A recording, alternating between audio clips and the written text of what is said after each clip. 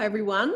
This webinar is now live, and we already have quite a few people who have found their way into the participant room. We'll just let that continue to populate for a minute, um, and I'll just entertain you with introducing myself. And I'll just start by letting everybody know this is being recorded. Um, but that that's fine for the participants because there's no actual audio voice available for participants in this webinar. But welcome to the College of Law, albeit virtually. Um, we're here at the Australian National University, welcoming you to the second in our Menzies Cyber Series. For those of you who attended on the last occasion, we talked about future humans. Um, we're very, very excited this evening to welcome you to the beginning and end of truth. Um, maybe it's the beginning of a new truth, and maybe it's not the end of anything. We're going to find out though.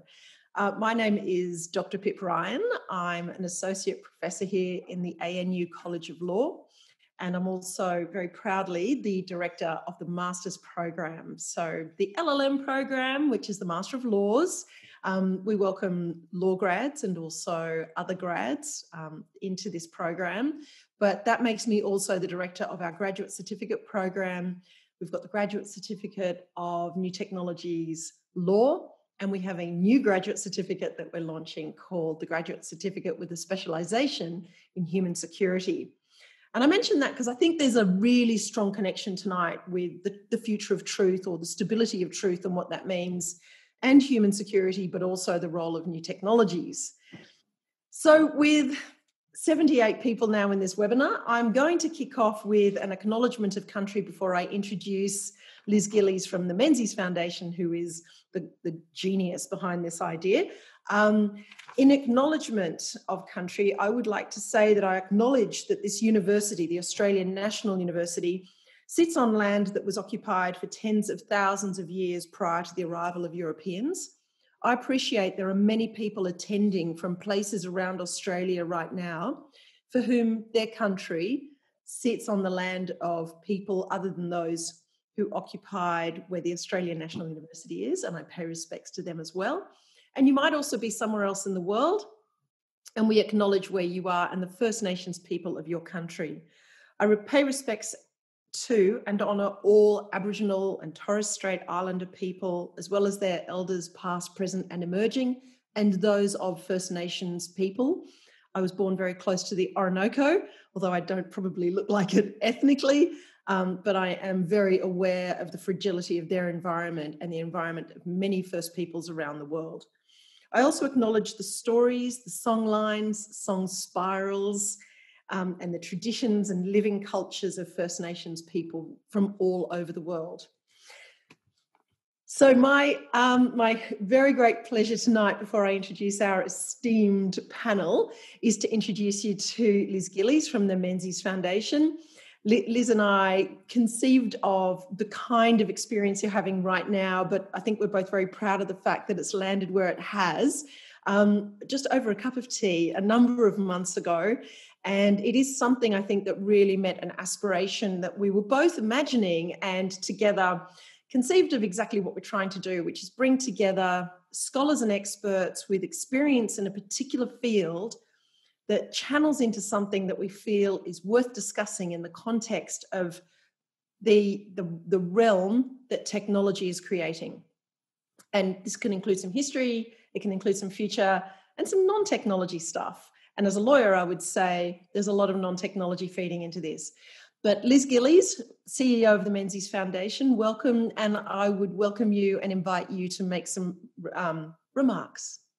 Thank you so much, Pippa. It's just delightful, Pippa, to be working with you in the College of Law. I have to say that was a really wonderful welcome to country, and I full of admiration for the spirit in which you shared that with us and the way that it took us to the place I think often is missing in those acknowledgement of countries. So thank you very much for the thoughtful way you do that. Just very quickly, the Menzies Foundation aspires uh, is was founded to acknowledge Sir Robert Menzies' legacy. We're non-partisan and non-political, and we have a grand ambition to raise the profile and importance of outstanding leadership. We do that in we do that in a number of ways. We find, uh, we um, identify leadership challenges. We build incubators to unlock innovation and how to address those challenges. And we then take those learning insights around leadership and contribute to the national discourse on leadership. And this example of our partnership with ANU is an excellent example of that. One of our areas of focus is the impact of emerging technologies on the law.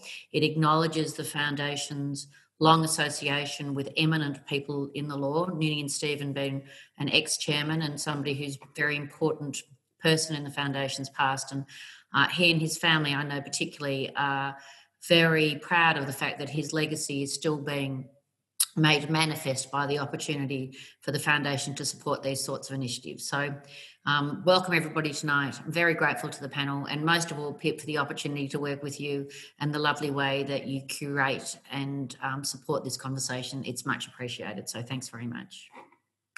Thank you, Liz, and thank you to the Menzies Foundation for your very generous support um, and for for being a part of it, for not just giving and then walking away, but actually wanting to participate and contribute the way you do. So, our panelists this evening, we have Jonathan Harley, um, the Honourable Justice Schmidt, and Dr. Mark Staples. We're very excited to welcome you. For those who are here in the audience, can I just note two things? You're very welcome to post any questions that you might have for the panelists as the evening progresses. But the plan, as you would have noticed in your invitation, is that those questions may not be reached. I would assume we'll get a few, and they may not either any of them or all of them be reached this evening. We're just going to give the panelists the space that we have this evening for their, their content and their discussion.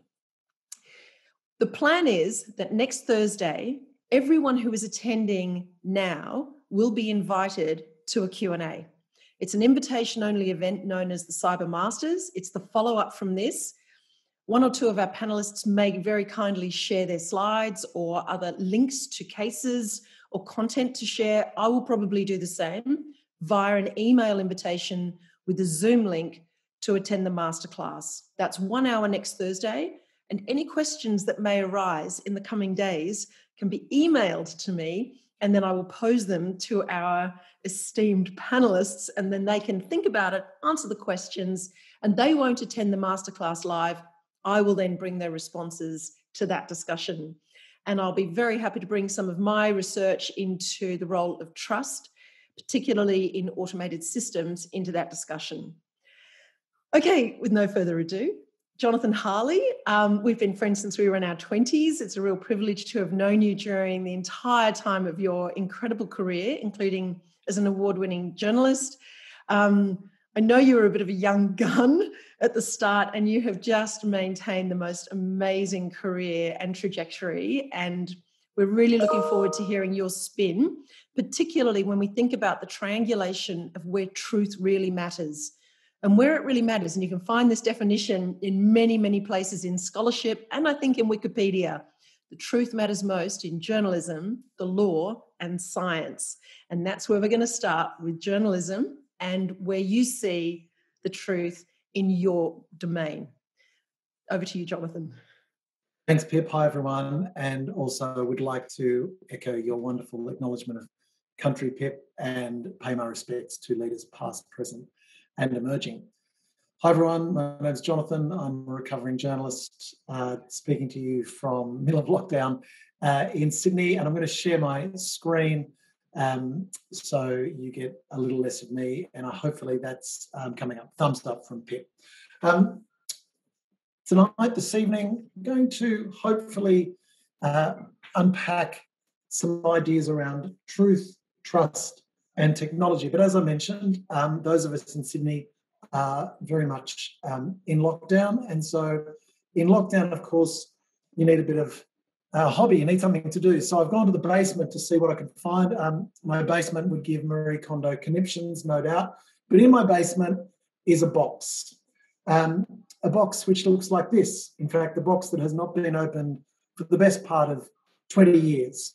So on the weekend, I decided that uh, with this coming and uh, with uh, a bit of time on my hands, it was time to open this box, which is um, jam packed with mini DV tapes, a technology that some may recall and many may have never experienced.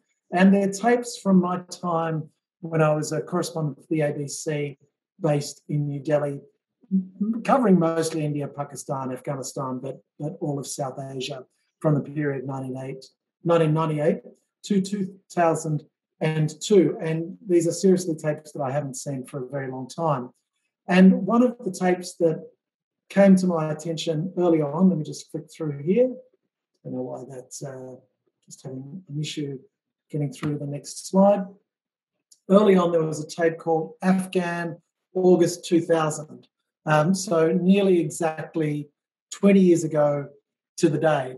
And this is from uh, those tapes that I just literally pulled it in. This is what I came up with. Kabul, just weeks before the start of September 11, um, weeks before that story was going to transform uh, what many of us understood the world to be at that time.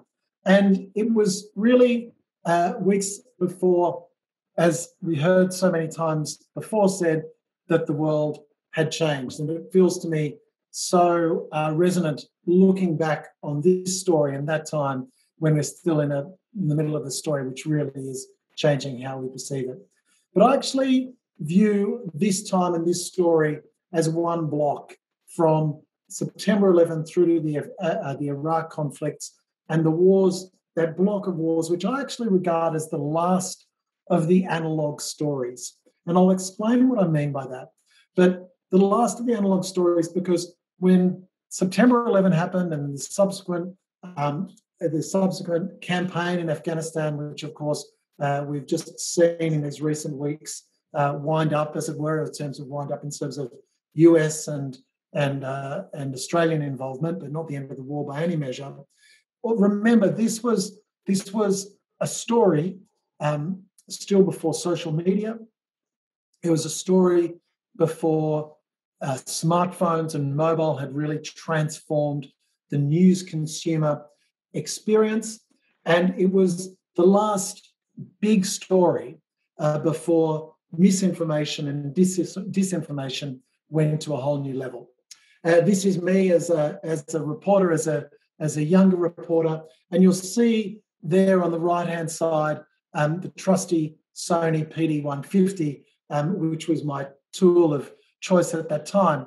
Now, it's easily forgotten now, but at this time, uh, in, the nine, sort of the, the, mid to late 90s, early noughties, um, there weren't very many um, what we now call VJs or videographers rolling around. It was still very much the time of the traditional TV crew.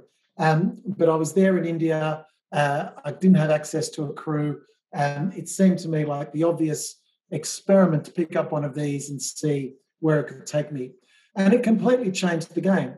It gave me access and freedom and affordability to be able to move across the region in ways that I, I wouldn't have been able to otherwise. Partly because of the cost, that suddenly for the ABC, it was just one reporter and a cameraman, a camera, uh, and all of the flights and accommodation that went with that. But it also gave me unique access to go to these, these parts of the, the region uh, and chase stories that otherwise wouldn't have been possible. Remember, the Taliban then were controlling most, most of Afghanistan. Uh, under the Taliban, it was um, sacrilegious to uh, capture and convey the human uh, form uh, in photography or film.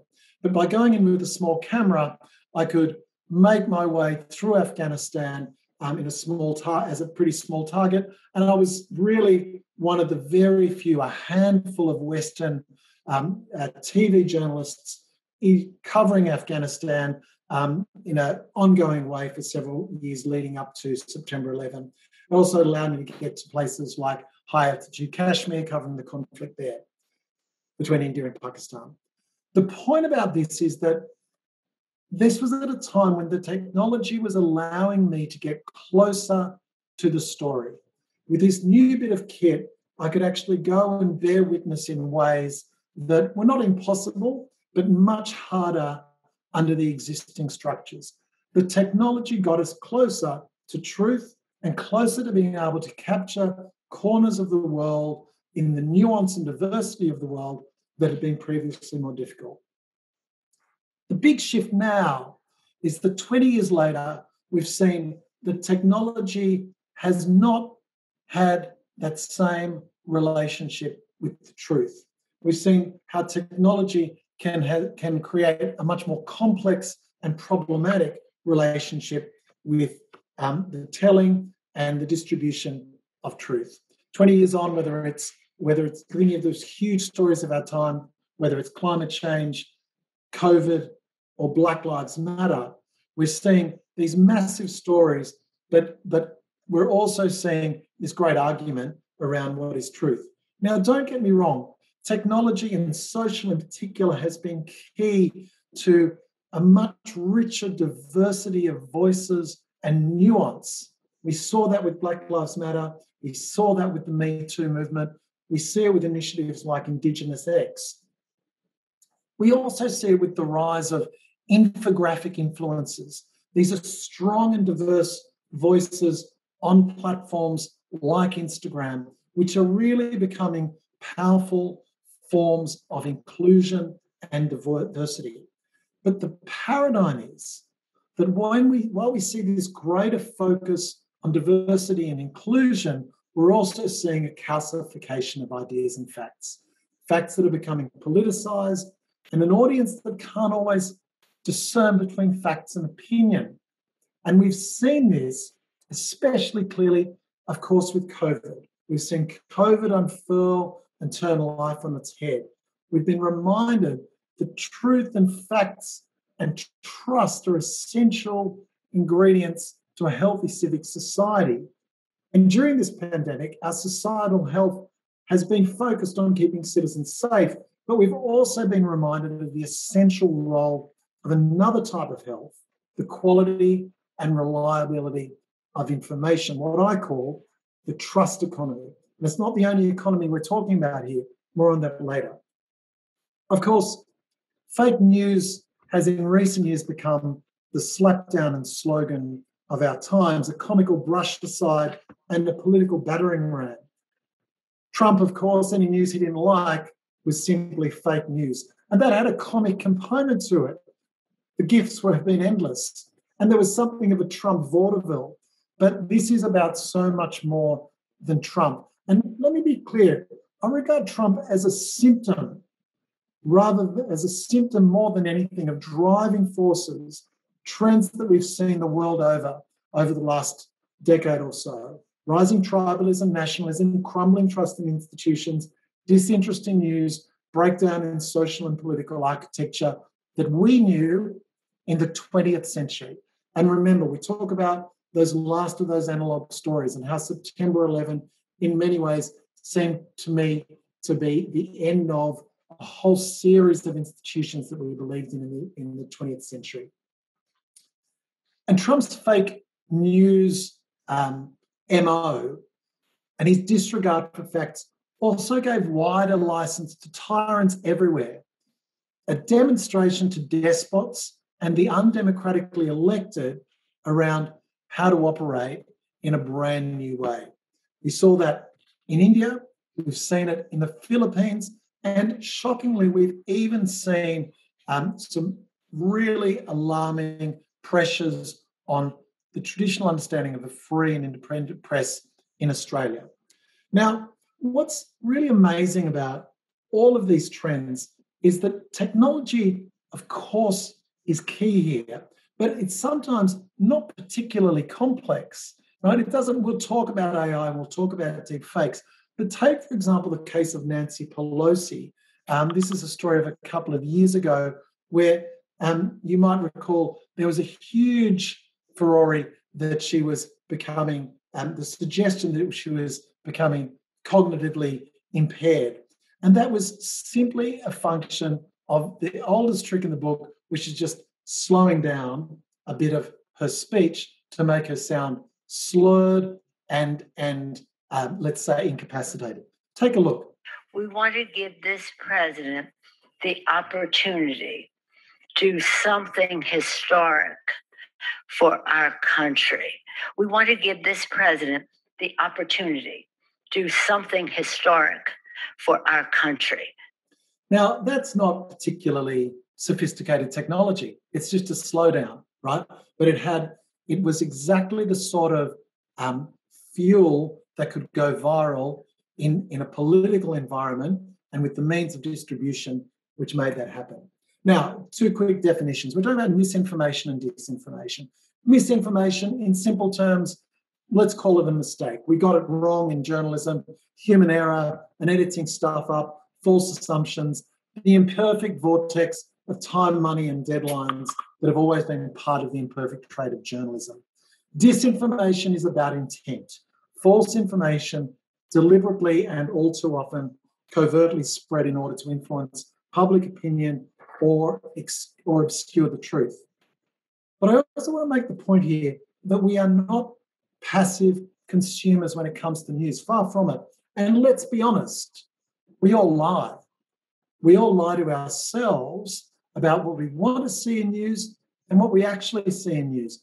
Axios had a great bit of data dissection from uh, two years ago now, where they really where they pulled the numbers on what people were actually consuming and what they said they wanted to consume. So, for example, people identified healthcare reporting as ranking number one as the, the editorial topic they wanted to see more of, um, whereas it was actually number seven of what they read. Climate change, they said, was topic number two, but was number five. Education, number three, was actually number 11 of what they actually wanted to read and consume.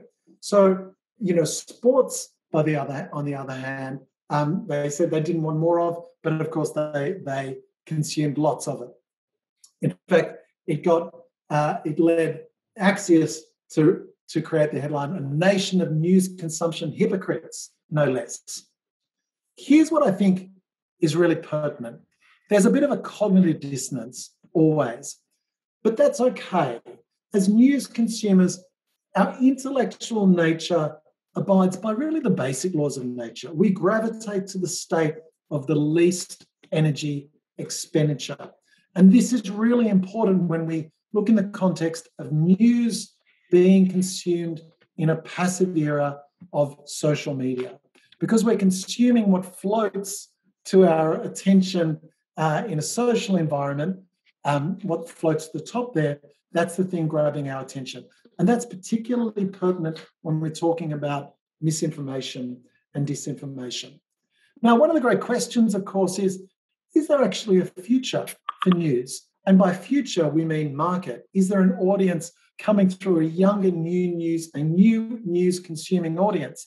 And what I'm seeing is absolutely the answer is yes. Now, I'm lucky because I come to this traditionally as a journalist, spent 20 years as a journalist with the ABC, 60 Minutes Australia. I've worked in production and made docos, but I've also spent the last six years working in technology, first at Twitter and now for the design platform Canva. And in my work, especially in recent years, I'm seeing this, this really interesting regrowth of young journalists building new young news brands and meeting a new news consumer where they are, but really focusing on these areas of trust and truth and reliability. A great example of this is the Daily Aus.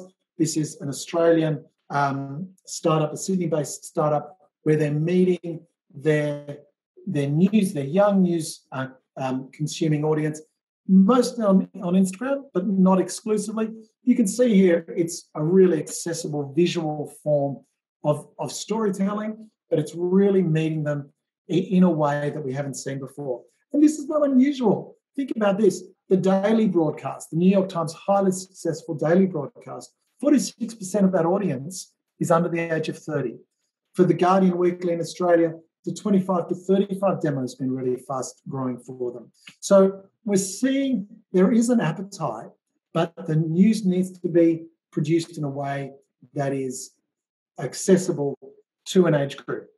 And the other point is that fake news does not affect all ages in the same way. In fact, the over 60s are much more likely to share and presumably believe disinformation on Facebook, their primary social platform. Researchers at Princeton and New York University determined that sharing articles from fake news sources was far more likely than those older than 65. And in fact, nearly seven times more sharing as many fake news articles as the youngest demographic group. Now, of course, the technology is transforming the game. And the Nancy Pelosi example was pretty basic, but of course, AI is changing the game. And I know Mark is, is going to talk about this later. And of course, the deep Tom Cruise, um, which I can just not get enough of, 1.6 million followers on TikTok. And for those of you who may not be familiar with uh, his form, here's a little example. You know, I do all my own stunts, obviously. I also do my own music. I've got a sweet spot for a couple of artists, and uh, people are surprised that I'm a big Dave Matthews guy.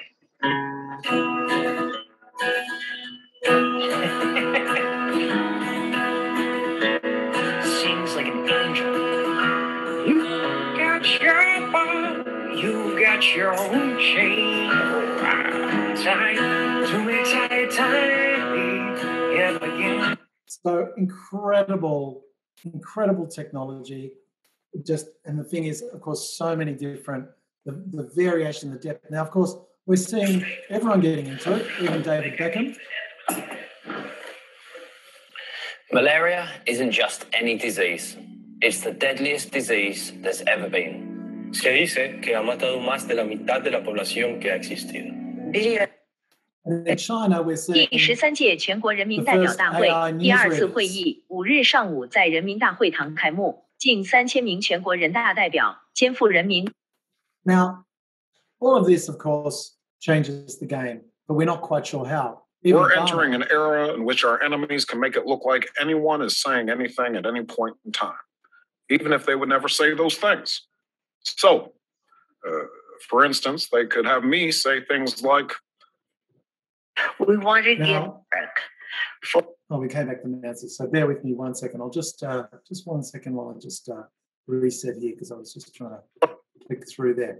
So the thing is, we're seeing the blurring of these lines in ways we haven't seen before, and no one really knows where to from here. Of course, there is no silver bullet. There's no magic wand. There's no paleo diet for a stronger trust and truth economy. And these issues are here to stay. But I always like to return to the great Ron Burgundy and ask, how do we stay classy? For me, I think there are three pillars these pillars of truth, trust, and technology. And we need to lean into all three of them with, with particular intent. Truth, the cornerstone has to be good, fearless journalism. And we have to invest in good journalism. As I say, I'm encouraged by the new um, brand and, and um, wave of, of news brands that are coming through. I'm also seeing reinvestment in the journalistic space by some of the traditional news providers that have found that had found previously that they needed to um, slash at a newsroom level. So that's that's part one. Trust is the other piece around consumers needing to know that they are cons- that they are that it is verified information from trusted sources, and I'll come back to that in a minute because technology needs to drive this at scale and support these business models. Now, my reporting days are well behind me, uh, but I'm still invested in good journalism. I work for Canva, the design platform, and we're working with news businesses, everyone from the ABC to Bloomberg to Gannett to, to the Times Group in India, to help them not only just reach audiences and find audiences, but consistently brand, make sure their news brands are cemented in everything they do. For any news organization, brand is the business, trust is the currency, but it's a really crowded space because we live in this idea of what we think of as a visual economy, that we are in the most visual time in human history. We're consuming and creating visual content in ways unlike anything before in human history. The digital revolution has become a visual revolution. And here's where it gets pertinent to this space.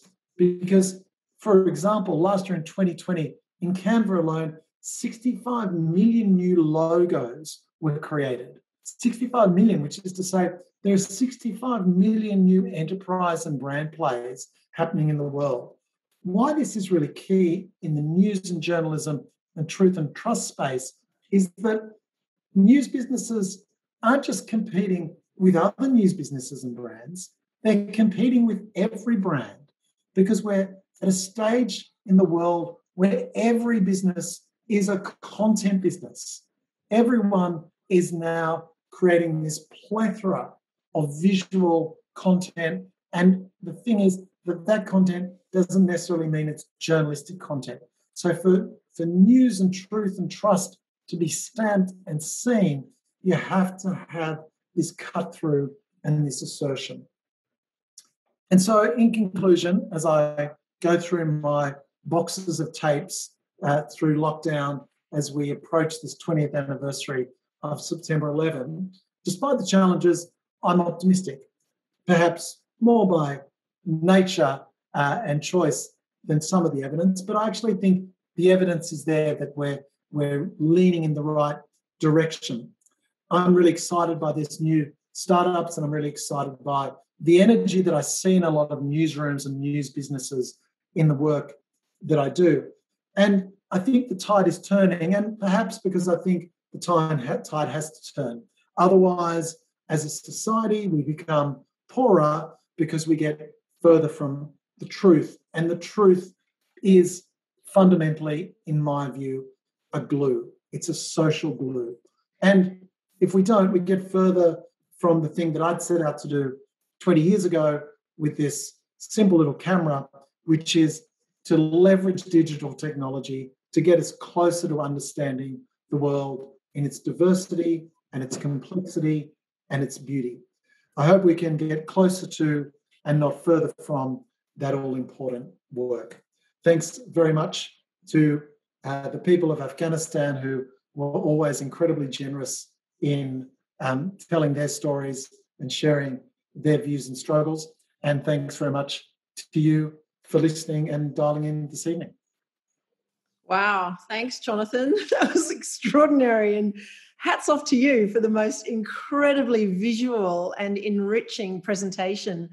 Um, I was I was thinking about that slide you put up with truth, trust, technology, and how interesting it is that I have had so many conversations with people like like Mark Staples, who's here tonight, but also Professor Jason Potts from RMIT, who's an economist, trying to work out how you value trust and what like what is it what's the etymology of it? What's the opposite of it? What does it look like? And yet this is the first time i've really thought about it from a really important side which is where you see the value of it as a journalist which is obviously there's you can value this thing. And I, I thought it was a very very eloquent final point in relation to truth being glue. You know and if we just think of who we are as a society it's amazing you can have had all those experiences and then finish so optimistically um, but i'm with you i'm with you I, I, teach a generation sometimes 500 of them at a time of very very young people and it is um, just an, an, amazing ethos that we see coming out of the the under 30s which is really really wonderful Anyway, thank you, Jonathan. Um, before we move on to Justice Schmidt, any final thoughts, Jonathan? Anything you wanted to sort of reflect on after my comment?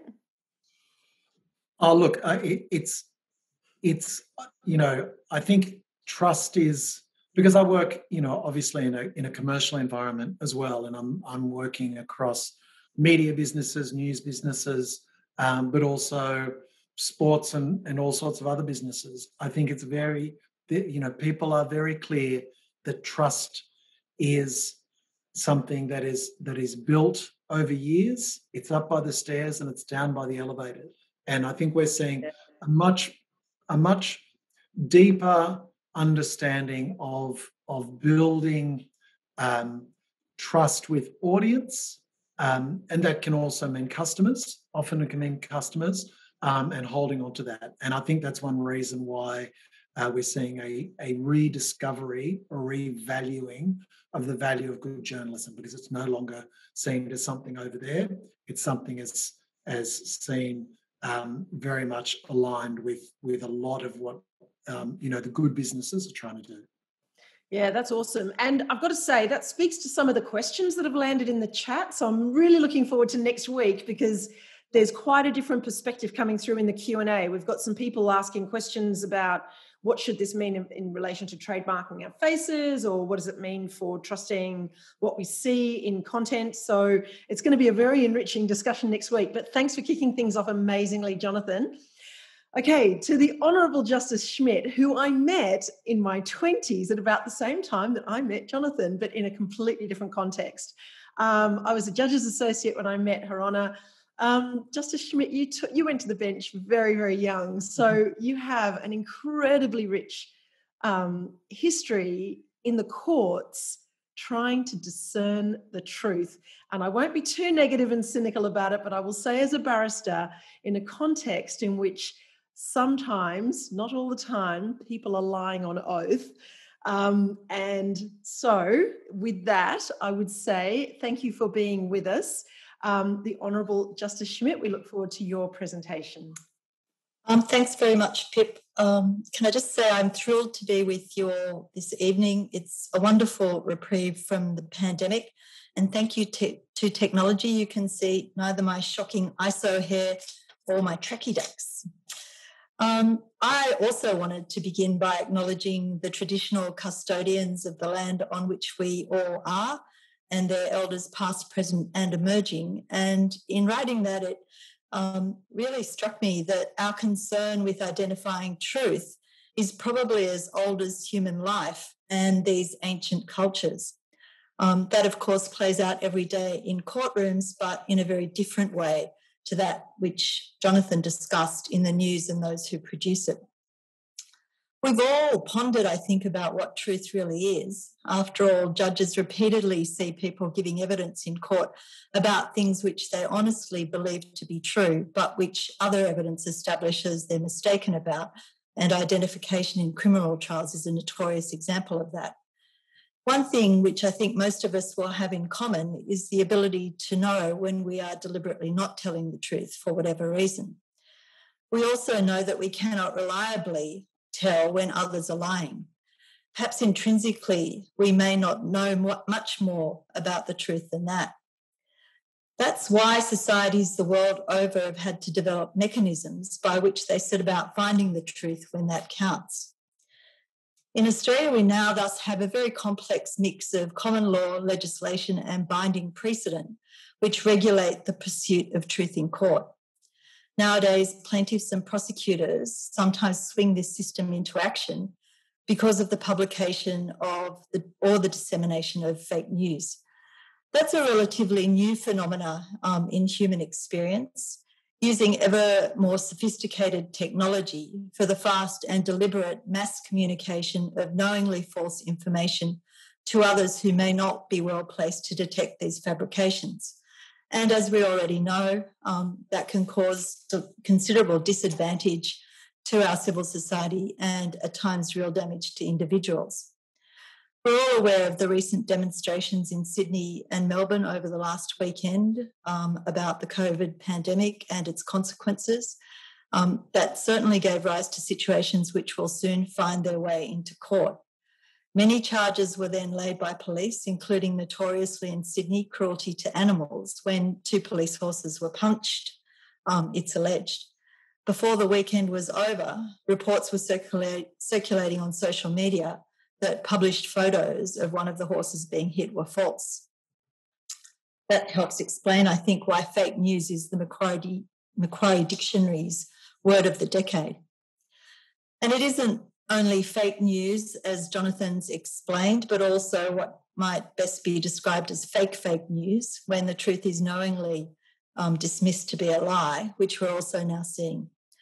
Most of us will remember last year being transfixed by the information which was coming out of America about the impact on its political sphere and the awful and ongoing consequences that we saw there. Tragically, that included what appeared to be the violent storming of the US Capitol building while Congress was sitting as part of its electoral processes, uh, and that's still being dealt with by the US criminal courts.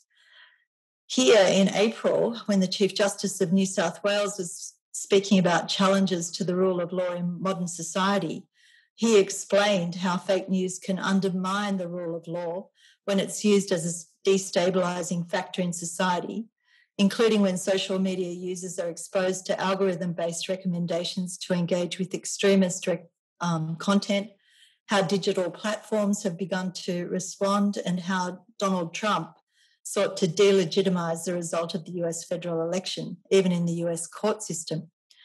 His Honour observed that judicial independence there had prevailed, despite the willingness of some lawyers apparently to advance cases without even an evidentiary basis, let alone sound legal argument, contrary to their paramount duty to the administration of justice, which lawyers in Australia also, of course, have. Against that background, I wanted to just touch on three things. Firstly, how judges go about truth and fact finding systemically and in individual cases two cases, one Australian and the other Singaporean, which show some of the challenges which fake news can present for fact finding and how judges have dealt with them. And thirdly, how these challenges might be assisted by regulatory change. The first case um, was one decided in December 2020 by Judge Gibson of the District Court when she awarded $125,000 damages in Geyer versus Goshen. There, Ms. Geyer, the daughter of a rugby league great, established that she had become the victim of some particularly vicious fake news. Her dad had had an international career and after retirement had become a sports commentator in mainstream media. Unfortunately, as a result, her identity had become very publicly well known on social media. She led evidence which established that Mr. Gosh had taken her photo from her Facebook page and used it to publish false information about her involvement in a 2019 sex scandal involving a Penrith Panthers player. It was then notorious that he had released a sex tape which had gone viral on social media, showing women having sex with him who claimed that they had not consented to the public release of the tape. That Mr. Goshen was the publisher of the false post was established, even though his NRL meme site was anonymous. He denied being the publisher, but there, under the heading Ironically Fake News, he had published the statement of claim served on him at his home. That's an example, I guess, of how the truth is now routinely dismissed both online and in the real world as fake news. His defense failed because of evidence of a screenshot which contained an admission when he had boasted that he owned NRL memes and I fucking created the page.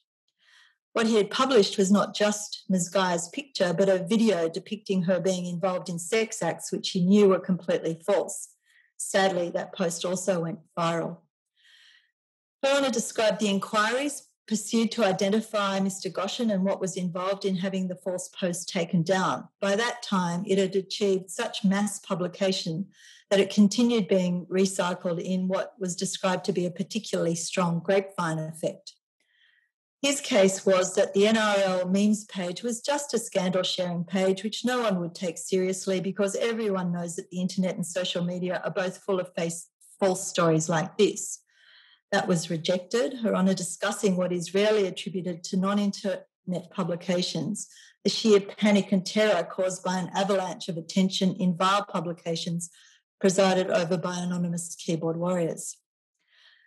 Um, Her Honour's judgment is colourful and interesting, and I um, urge you to read it. Um, she said, amongst many other things, that although such allegations may sound unbelievable or bizarre um, to those in court, the potential for real harm was not lessened by their implausibility, referring to another case where a retired high school teacher had been severely assaulted after publication of false allegations that he was harbouring pedophiles. Rana also described the contemptuous responses which Mr. Goshen had published online to Ms. Geyer's request for an apology, which she had found involved clearly aggravating conduct. Well, what um, do such fact finding exercises involve? Firstly, systemically. Our legal system doesn't provide for a judicially led investigative process conducted in order to sort out the truth. In our society, it is others who are given investigative powers, such as the police and statutory bodies like ICAC and ASIC. Investigative journalists like Jonathan also pursue the truth. Um, and that can result in investigations by other bodies like royal commissions, who are given wide, wider powers than those which judges have in order to establish the truth about matters of concern. In court, it is the parties of the proceedings who lead the evidence by which they seek to establish where the truth lies about what is in dispute. Judges are confined to finding the evidence on, to finding the facts on that evidence, to which they then apply the relevant law in coming to a conclusion. The emergence of deep fakes and synthetic media, media, which use sophisticated software and AI to create false images, sound, and video, um, which are increasingly difficult for others to detect, like the TikTok video of Tom Cruise, which you saw, underscores the potential difficulties lying ahead for plaintiffs who pursue claims about fake news in court. What such technological advances may mean for humanity provides delicious food for thought, I think, but in court, fact finding will continue to depend on what evidence the parties are able to lead about the claimed fake news. That is because judges may not decide disputes on the basis of information which is now so readily available to us all online. It's not for them to search for relevant evidence, except in very limited situations when they may take judicial notice of something that is notorious, they are bound to find the facts on the evidence which the parties lead. In Australia, that's a requirement of the common law, which has its roots not only in British and Roman law, but also in the legal practices of the ancient Greeks. It's been developed over centuries in the courts of Britain and now for well over a century by our own. Judicial fact finding has also been altered by statutes enacted by both our federal and state parliaments, like the uniform legislation enacted in New South Wales by the Evidence Act of 2005. Legislation like that is inevitably the result of reaction, often contested political reaction, to developments of concern to society, and so it can be slow and piecemeal. But as a result, much of the common law remains available to help judges respond to new challenges, including those which fake news can bring. So, what is involved in fact finding in an individual case? First, the plaintiff or prosecutor commencing the proceedings and the defendant responding, and eventually identifying what is truly an issue. The parties then serving documents and evidence from witnesses, including experts, to advance their cases, including about disputed facts often important in cases about false news or fake news. Next, the judge resolving disputes about the relevance or admissibility of the evidence. The Evidence Act excluding certain types of evidence which parties may seek to lead in order to establish the truth. For example, hearsay evidence or opinion evidence from a person who is not qualified to give such an opinion.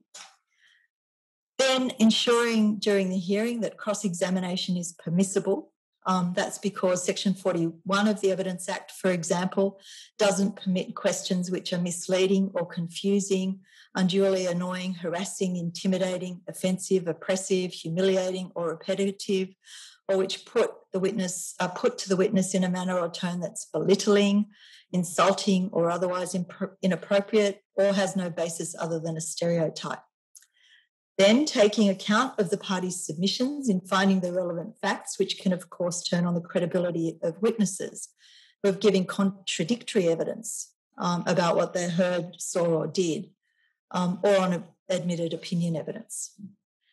In some cases, taking into account evidence which was not called, and that's because of another common law principle that evidence has to be weighed according to the proof, which it was in the power of one side to have produced and in the power of the other to have contradicted. That requires consideration of an unexplained failure to give evidence or call a witness where that might reasonably have been expected.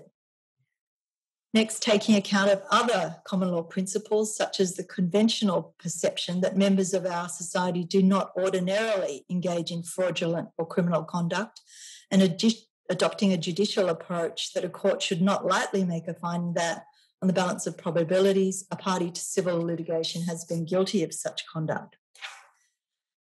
Then, in arriving at a conclusion on the facts found, judges, of course, must apply the law, including things like the common law onus of proof, which normally falls on the plaintiff or prosecutor, although on a particular issue it may shift to a defendant or accused.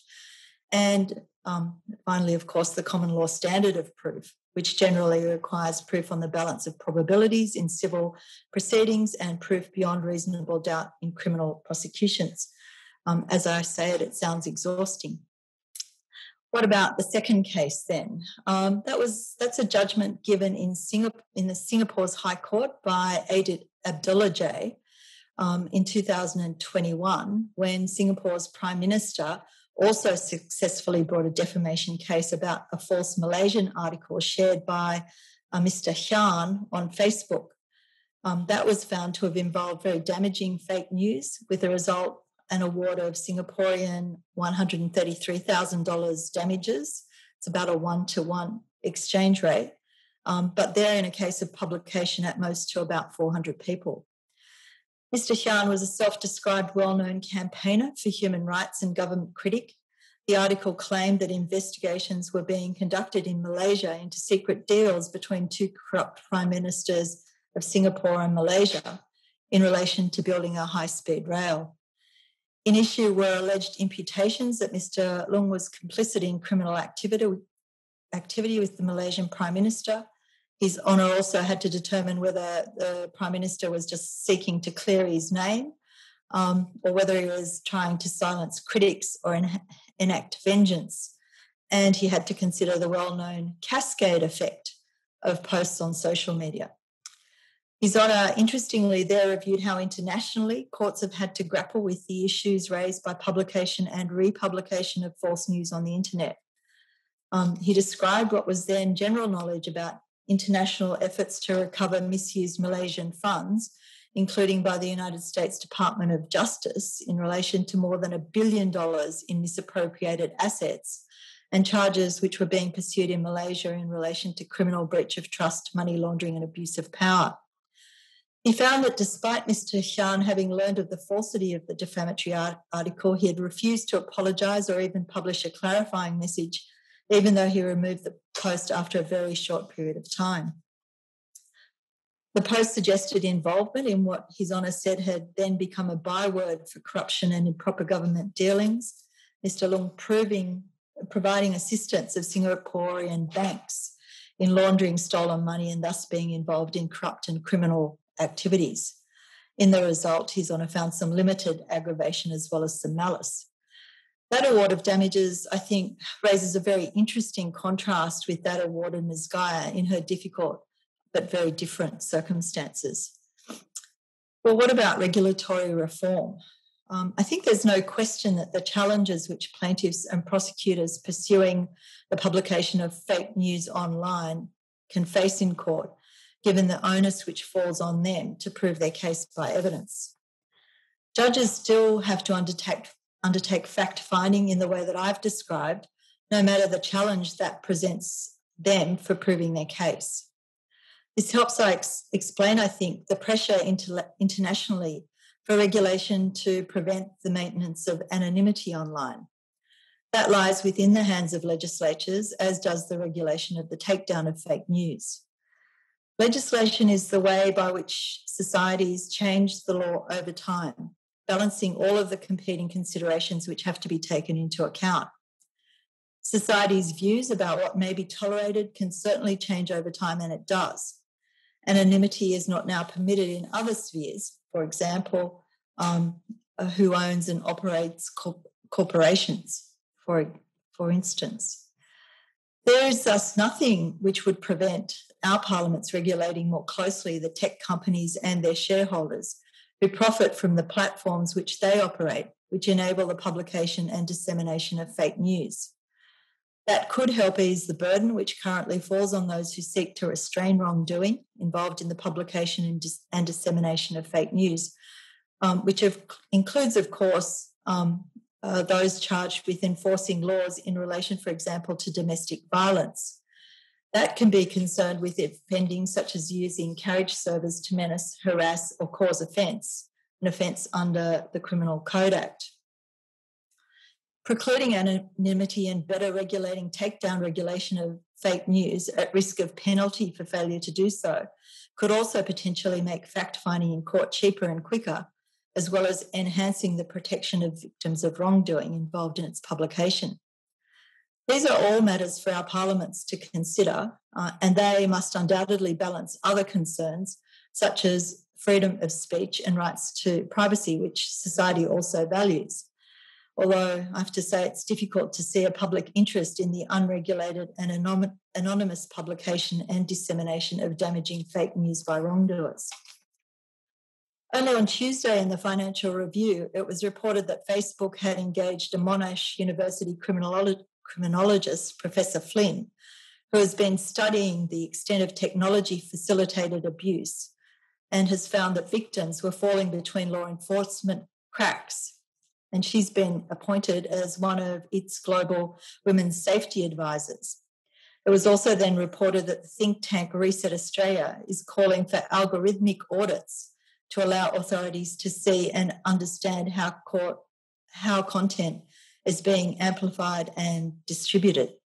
And last year, I know that the Chief Justices of both New South Wales and the Federal Court talked about um, the problems with algorithms um, uh, and how those who devise them uh, would be better served if they took some advice from lawyers um, uh, when they were talking about the problems which the robo debt scandal um, uh, caused our society not so long ago. Well, before we have such regulation, what will judges do? Um, they will continue applying the mechanisms society developed for fact finding in different times in order to deal with constantly emerging challenges in the cases over which they preside, including those increasingly presented by the easy, anonymous, peddling of fake news, ever more difficult to, de- to detect as it may be, to growing numbers of other people around the world, some of which seriously harms others and in some cases inflicts real damage on society as a whole. Thank you all for the opportunity to share those thoughts. Yeah, that was really interesting. An amazing conspectus of precisely what a judge does in fact finding. That was like a bit of a masterclass, I've got to say, from, from the perspective of the barrister. Um, one of the things that really struck me about that was this idea about the takedown orders, because I know in a conversation I would have with a client, if a judge says, These are the orders I make, you do as you're told as quickly as you can. You do not exacerbate this. You don't want to be in contempt. Um, but when I first started studying law and thought about how you make amends in relation to, say, defamation, it was pretty straightforward. And you you said it.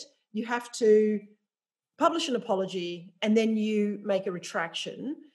But you then talked about the the grapevine effect, and it mm. makes it almost impossible because it's gone. The, the horse is bolted. You've lost control over the very thing you're now trying to take down because it now exists in all these other forms because it went viral. And I think this is really, really hard. You know, trying to give effect to an order, the judge makes an order, and then to give effect to it becomes very, very difficult. And I think this is exactly why. I mean, I imagine this is why you're saying the regulatory piece has to has to play a part. I mean, is that the sort of thing you're thinking about?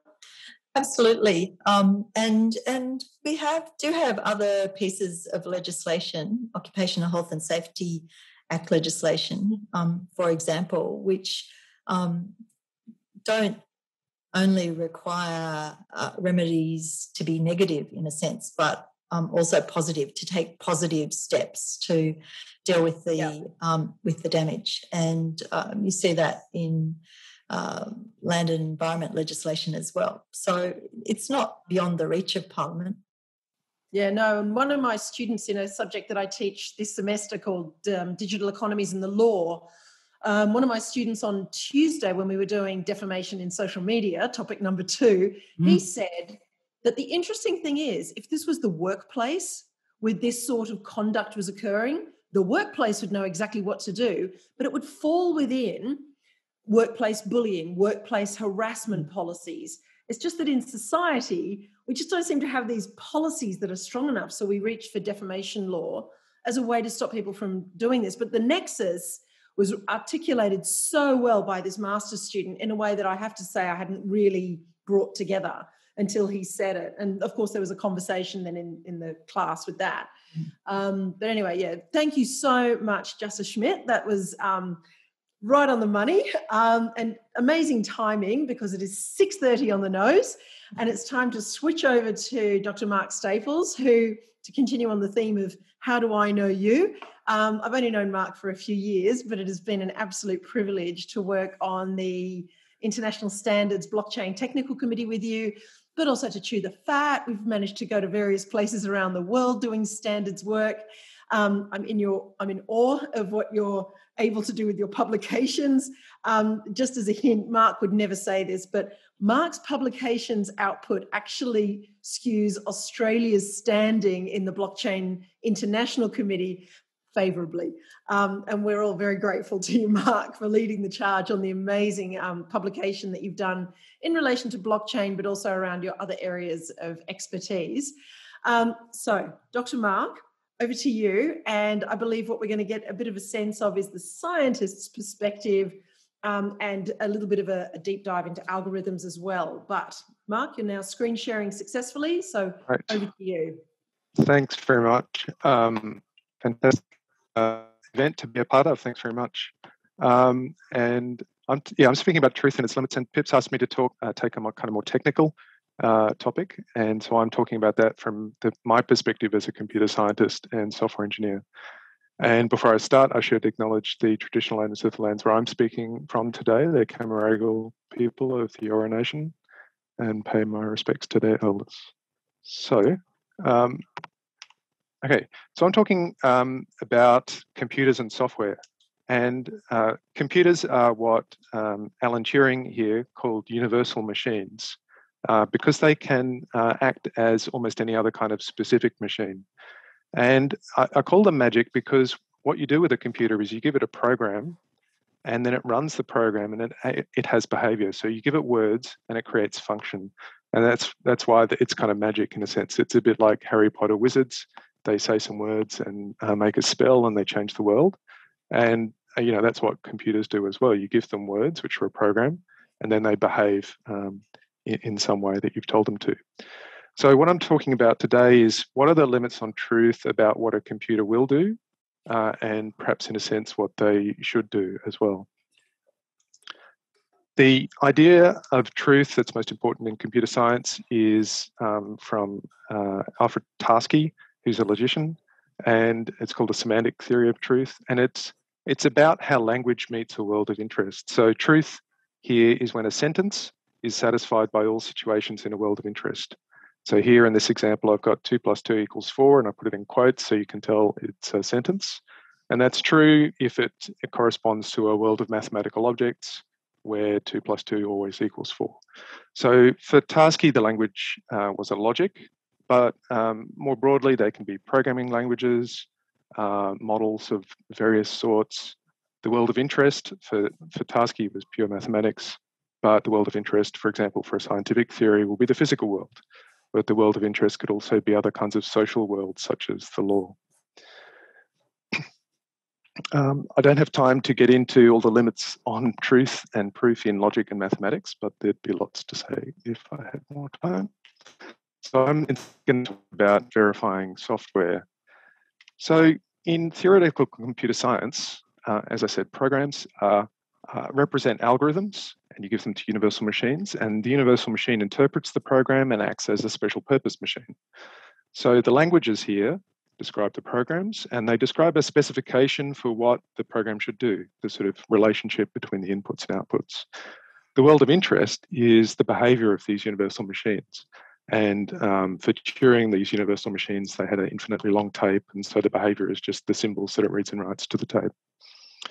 Uh, truth for programs is when the program executing on the computer, um, uh, when the specification for that is satisfied by all the possible behaviors of the computer. And computer scientists call that correctness, so the correctness of a program. So, how do we go about uh, finding the truth how, or checking the correctness of a program? The problem is that um, computers, universal machines, use kind of discrete binary logic.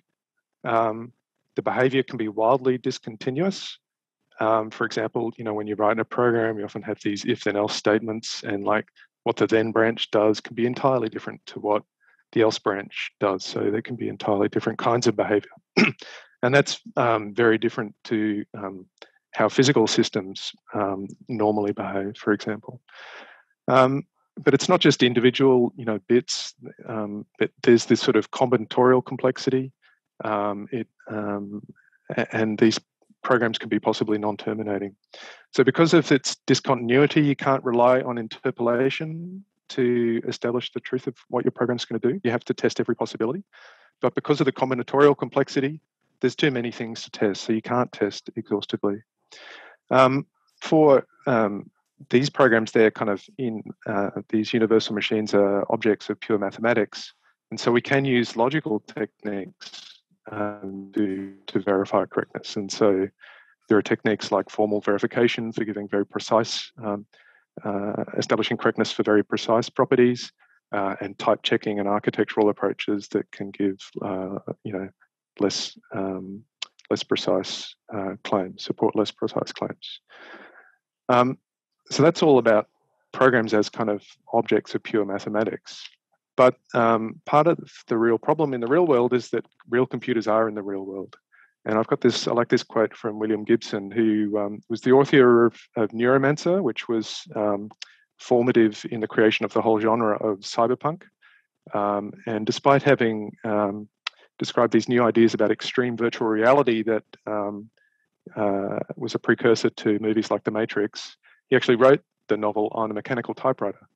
And so when he finally uh, first saw uh, a real computer, he was kind of disappointed because he'd been expecting this exotic crystalline thing, and what he got instead was uh, something that you know made noises like a scratchy old record player as the old um, uh, uh, disk drive spun around. Um, so real computers, real programs run on physical computers. Um, they're limited by their physicality but they can also have more effects because they're doing things in the real world. So the language, kind of as before, uh, describes programs and the relationships that we want between inputs and outputs of the program, but also the physical resources um, uh, that are part of the computer itself. The world of interest is then um, behaviors in the real world, including the behaviors of the computer itself. Uh, so when what's important about real programs running on physical computers is um, when they have when they have bugs, um, when they're not correct, they can cause physical harm and physical loss. So here's a picture of the Ariane 5, uh, the explosion of the initial launch of the Ariane 5 rocket, and that failed because of a software bug. Uh, and it was because they used an old um, uh, a component from uh, uh, Ariane 4, which used 16-bit words, and they were connecting it to a, a new system in Ariane 5 that had 64-bit words and you know the physical difference essentially in the size of the words um, and the, the, failure to integrate properly led to data being mismanaged and then eventually the loss of the rocket. Um, so problems with the correctness of programs are, are what you know is essentially what most bugs are. It's why we have most cybersecurity exploits, for example. And these things can emerge not just because we fail to reason properly about the logical parts of our program, but also, as with the Ariane 5 rocket, um, that we can have sort of bad empirical theories for um, that we're using to reason about the correctness of our programs. So these bad empirical theories or incorrect assumptions can invalidate the correctness of, of real programs in the world and you know directly lead to harm and, and loss. Um, but computers themselves are not the whole story. Um, we also have to think about how the computers are used in uh, systems. So, computer based systems are not just programs. They have um, computers, they have programs, they have software, uh, but they also have other things. They interface to the world for, um, for speaking with people, um, interfacing with people, they interface with Internet of Things devices, they communicate with other computers. And importantly, they're also used in an operating context. So for computer-based systems, it's not just about the input-output behavior of the computer and its physical resources. It's also about fulfilling its requirements for use uh, in some sort of operating context. It's meant to help people do things. Um, so now the languages um, describe uh, systems and, and you know how they're built and so on, but they're also now describing what users' requirements are for the use of the system. And the world of interest is now your real world application domain. Uh, I'll get into that in a bit. So here I'm trying to position computer-based systems as just a normal, a normal kind of engineering uh, artifact. And the main kind of claims about um, in engineering that we want to establish the truth of are do systems meet their requirements? And, and so I've taken this opportunity to plug a couple of papers on the philosophy of engineering, um, where I discuss how the sort of requirements for uh, systems in use breakdown are represented by requirement specifications, but we need to show that you know the designs we come up with correctly implement um, those specifications, and that those designs are actually reflected in the real systems that we build. Um, I'm going to talk about three uh, kinds of examples of different uh, computer-based systems to kind of um, bring out some aspects of these, the, the, sort of limits to truth related to these. The first kind of system I'm talking about um, is an approach called rules as code. Um, and, and systems that use rules as code in a similar approach. Rules as code is where we're creating and using models of the law. And these uh, models of the law are both human readable, um, so that you can read them and check that they correspond with the law, but they're also um, machine interpretable because we want to use these models to help automate things in relation to the law. So we're creating a kind of a digital twin of, if you like, of legislation or regulation or policy. And there's been increasing interest uh, in this internationally and also in our region. So in this approach, the language includes an explicit model of, of the law, a body of law at a point in time, but also of legal situations which correspond to, say, facts in, in a particular situation. The world of interest is, um, you know, includes is essentially the law and and the um, requirements that you're, you're trying to support with the uh, application that's using rules code. Semantic truth here is assessed essentially by saying, you know, what would a judge say? Um, so, you know, regardless of whether or not the um, the judges involved in deciding the, the truth of specific facts about uh, a legal situation, they are um, this giving authoritative views about what the law says. Um, and uh, uh what I mean by this is that uh, this whole approach is not trying to replace judges or uh, kind of automate judgment. What I mean by um, this thing about truth being assessed by what would a judge say is that's the criteria we're going to use to assess whether or not our model was good. So if our model of the law fails to correspond with what a judge would say, then that means our model is wrong, obviously. Our ability to create a, an accurate model of the law um, is limited by you know, our understanding of the law and social world. So here I would want to emphasize that it's, um, you know, in science, traditionally where, where we create scientific theories, they're always tentative because we're never quite sure if they're going to be true of the real world, of the physical world. But um, when we're writing computer programs, it's not just the physical world we have to be concerned about. We have to be concerned about the social worlds, uh, and and the law is an example of that. When we're writing computer-based systems that are helping us work in that world. Second class of system I'll talk about are blockchain-based systems. Um, I won't be able to describe in detail what blockchains are, but um, briefly, they are very you know, often usually globally um, distributed and decentralized systems. Um, they support the creation of an immutable ledger of transaction records um, so that everyone around the world can have their own copy of this ledger, but they all know they're all looking at the same version of the ledger. Um, and blockchains emerged initially to support um, the Bitcoin cryptocurrency, uh, where the transaction records uh, on the blockchain ledger were the you know Bitcoin transfer transactions. But they're now being used for many other purposes. For example, we can use them to record physical events in, in the supply chain. For example, a truck might arrive at a warehouse uh, in the in the real world, and we might record an event of that on on the ledger.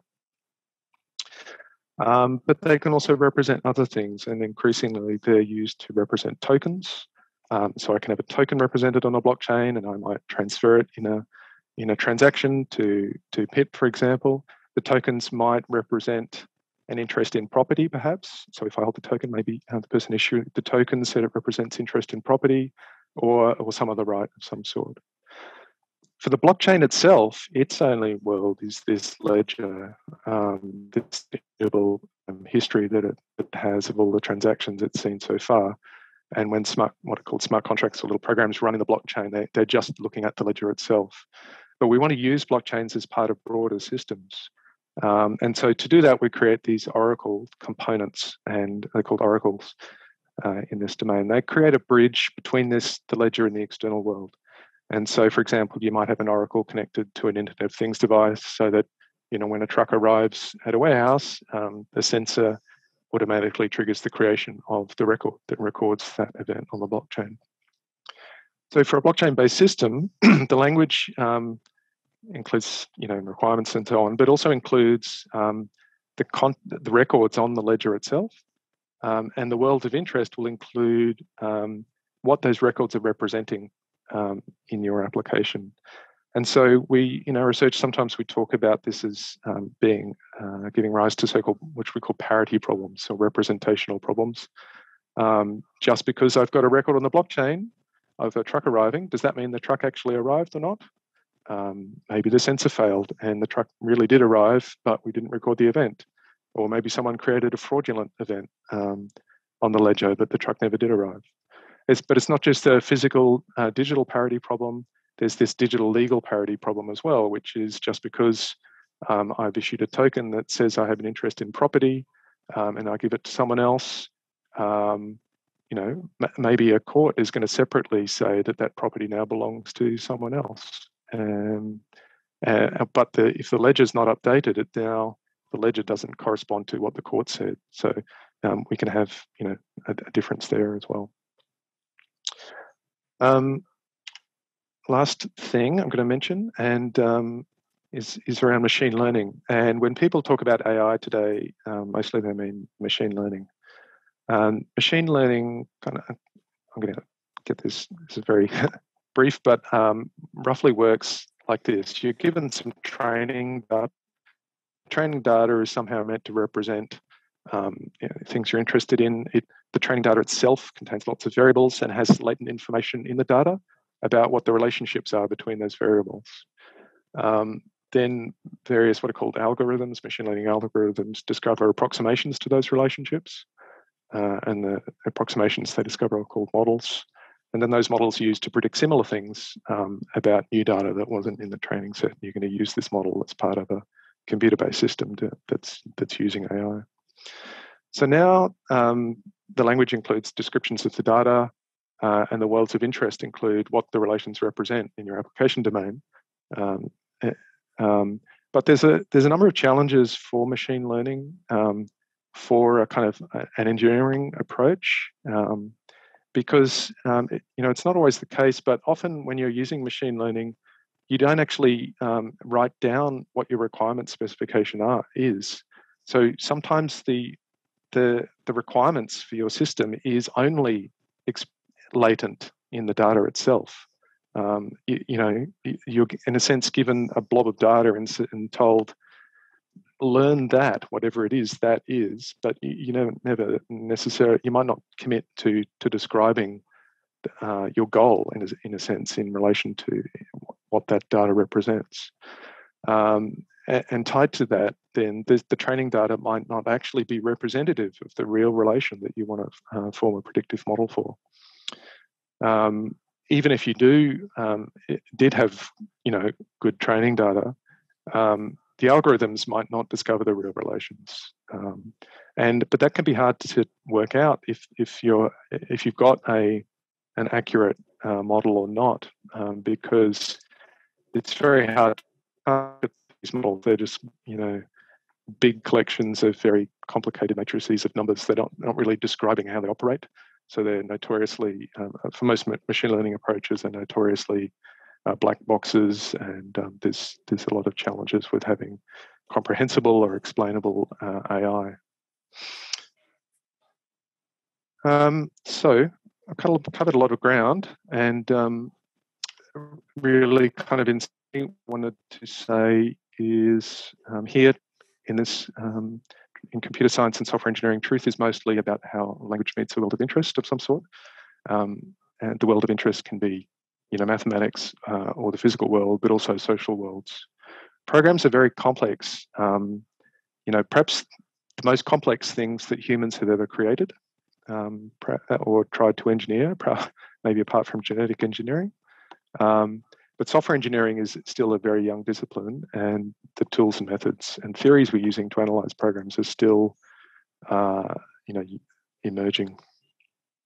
But nonetheless, we need an engineering approach for computer-based systems, and in particular, we need to think about the requirements for them, and those requirements are often going to be uh, not just about, you know, mathematics or the physical world, but also about social, uh, social world, including the law. Um, there are limits on the truth to claims about computer-based systems limited by many things. They're limited by our reason, uh, our ability to reason about programs. Um, by they're limited by our imperfect knowledge about our worlds of interest, and importantly, they're also limited by our imperfect knowledge about what we want our computers to do, and and our imperfect ability to agree on what we want computers to do, uh, so that we can write down requirements uh, for these systems. Uh, right. Thanks very much. Mark, that's amazing. Um, uh, there's some great great questions coming into the feed and i just want to give a shout out to barbara gary and christopher and anonymous which is sort of in light of what we're talking about terrific that we've got somebody who i'm, I'm sure their first name is not actually anonymous i believe they are anonymous but thank you for your wealth of links and questions and suggestions and comments gary i will be the next truth commissioner although somebody will probably create a deep fake pip. Um, so, Mark, can I just ask you two philosophical questions before we before we close? Sure. The first one is this whole thing about language. You said there are limits on that that last slide. You have you, you know where the limits lie, and I was just wondering how how closely related is where we are and our capacity for an incredibly sophisticated language. I'm i'm thinking spoken and written language. How much does that feed into computer programming engineering? If we had a more sophisticated way of expressing ourselves would we have traveled further faster? Or is it really dependent upon our capacity to articulate what it is we think this relationship should be between the program and then the physical world and our interests over yeah. to you on that? Um, so you know very often requirement's not written down as kind of mathematics. Um, in a sense they're um, in trying to create uh, uh, an understandable sort of requirement set very often um, they're partly written down just using natural language. Um, and there are always kind of um, uh, gaps that aren't really going to be covered by kind of mathematical theories. We we still want structured arguments about um, about these things. And sometimes you know that increasingly, you know, there is that, you know, as as a, a discipline matures, the methodologies get more um, capable of expressing more uh, sophisticated requirements, specifications, and for reasoning about those. Um, there's a great um, a great book called uh, by Walter Vincenti about uh, called "What Engineers Know and How They Know It" that talks about um, engineering and knowledge, and he, he's he did a lot of aeronautics engineering, and uh, so he's got a good chapter in there about uh, flying qualities, which is how good a plane is to fly, which is kind of a feels like a very subjective thing, but over time the aeronautics uh, field has kind of developed various kind of ways of specifying what it is, you know, for a plane to be good to fly, uh, and they've developed various standards and metrics that sort of um, embody embody the, the main elements that drive that good feeling. Yeah, that's interesting. It's a bit like the the engineering of dithering. I often talk about this with locals because we've got a dirt road from our property, and the question is, should you go slower or should you go faster? Because if you go faster, you get the dithering effect, which is that idea that it sort of smooths out all of the corrugations in the dirt road. Yep. yep. Uh, I go fast. But that's for another day. That's that's not my second question or comment. Okay, so uh, uh just to just to do some housekeeping before I ask my final question, we're going to need a link to that Vincenti. Um, what you know what engineers know. Yep, sure. Um, and then I'm going to get your 2014 and 15 philosophy yep. of engineering papers. I'll get the cases from the judge. We'll just make sure we get a really good collection of great content so that we can provide it to all of the attendees today with the follow up email. Um, but the, the final thing was a lot of people asked the question what's the future of AI? Where does that intersect with humans? There's a lot of work being done by people like Dr. Will Bateman and Dr. Damian Clifford within the HMI project here at ANU, which is this human machine intelligence project. Um, and one of the things that my students always love when I raise this is Moravec's paradox, the 1986 um, statement around, you know, computers are re- uh, computers are really good at the stuff that humans find yep. difficult, but really bad at the stuff we find easy. And the example from Moravec was, or Moravec, if I'm pronouncing it incorrectly, was babies will recognize their mother's voice, where an AI system would find that hard, but could prove Einstein's theory of relativity like that. Um, whereas it would, for some of us, will never gra- grapple with that. Where are we traveling? Like, where are we up to, yeah. and where are we going with these converging, Mark?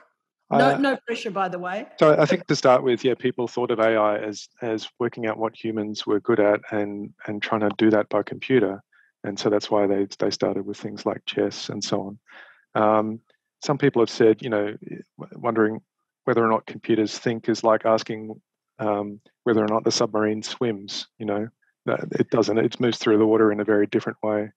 Um, so I think these days people are not um, are, are taking this sort of more integrated approach. They're talking less about artificial intelligence and more about collaborative intelligence. And so working out how computers um, we can use sort of AI techniques, but use that to assist us with you know some of the things we um, are either not good at or, don't want to do. Mm. Yeah, and I've just seen in the feed somebody just raised this question about postmodernism, which is hilarious because when we were having a discussion a, a couple of days ago, to talk about how thematically we were going to draw all of this together between Justice Schmidt, Jonathan, Mark, me. We did land on postmodernism at the end as a bit of a, I mean, I think I, I said I blame postmodernism for where we are with truth. So, can I park that and say, let's talk about that next Thursday in the masterclass? Of course, our guests are welcome to that, but you can rely on me being there. Um, I'll try not to plug what we do at ANU too much. I'll try and just, just, just stick to being as brainy as we all can and making that a truly enriching and engaging discussion. Um, as with all good events, it's three minutes to the hour, so let's wrap it up. Thank you so much, Justice Schmidt, Jonathan Harley, and Mark Staples for representing the law, journalism, and science this evening. Doing it with bells on and with brains exploding. Thank you. Thank you to our more than 110 attendees. It's been wonderful to have you here and for your incredible feed into the Q&A, which will be brought to the masterclass next Thursday. I look forward to seeing everyone. That starts at five. It goes from five till six next Thursday. You'll get an email about it. Can't wait to see you. Um, Liz, thank you for your leadership with this and Gian in marketing for making sure it all happens so smoothly. Um, and to Cooper the dog for staying quiet during the important moments. Everybody have a lovely week. Um, stay safe, stay well, get vaccinated, and hopefully see you next Thursday. Good night. Pippa, can I just acknowledge your oh, contribution oh, in curating the conversation and really say it was just an extraordinary conversation that's Amazing. exactly the point at which we need to bring different perspectives to understand how, as a community and a society, we can address the challenges that the new world presents. So, very grateful for the Menzies Foundation participants. But, Pip, you do it with great style and substance. So thank you very much. No, thank you, Liz. Wonderful closing comments. Really appreciate it. Thank you so much.